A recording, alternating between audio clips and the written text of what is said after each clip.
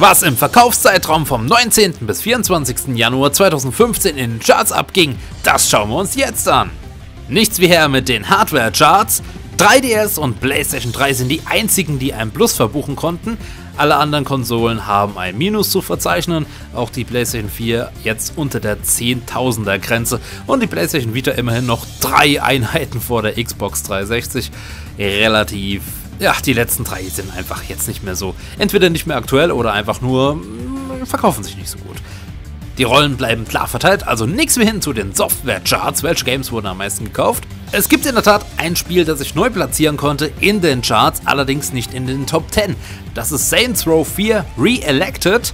Die Version von Xbox One ist auf Platz 55 eingestiegen und die PlayStation 4 Variante belegt den 13. Platz.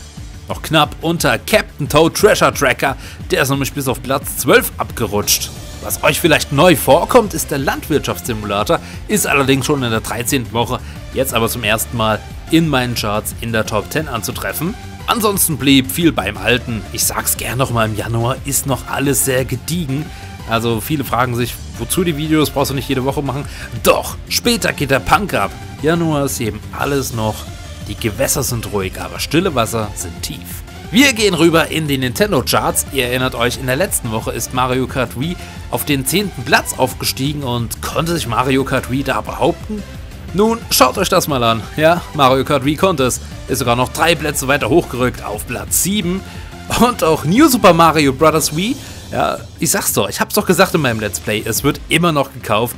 In der Tat, das neuntbestverkaufteste Spiel für eine Nintendo-Konsole in der Woche vom 19. bis 24. Januar 2015. Ja, also da merkt man, dass halt momentan nicht so viel abgeht und Deutschland ist halt ein kleines Casual-Land und ja, was soll ich dazu noch sagen? Wenig Bewegung auf den oberen Plätzen, die Rollen sind klar verteilt. Das bestverkaufteste, das interessanteste Nintendo-Spiel zurzeit, Pokémon Omega Rubin und Alpha Saphir Edition, gefolgt von beiden Smash Bros. Editionen. Ja, das war's für heute. Kurz aber bündig. Wir sehen uns wieder nächste Woche. Schaltet ein. Bis dann und ciao.